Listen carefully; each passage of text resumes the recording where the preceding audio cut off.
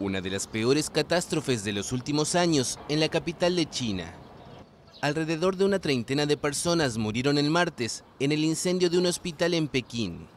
Una investigación preliminar dada a conocer el miércoles reveló que el fuego fue provocado por chispas durante la renovación y construcción de un departamento de internado del hospital, que encendieron los elementos volátiles de la pintura en el sitio.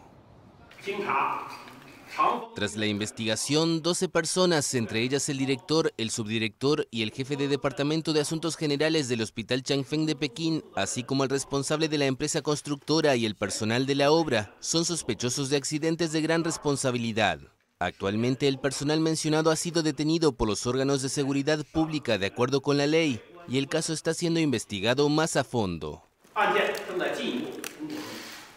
Las llamas pudieron apagarse media hora después del inicio del incendio y los equipos de socorro evacuaron a más de 70 pacientes durante las dos horas siguientes. No se dieron mayores detalles del número de heridos por el incendio o la condición de las víctimas.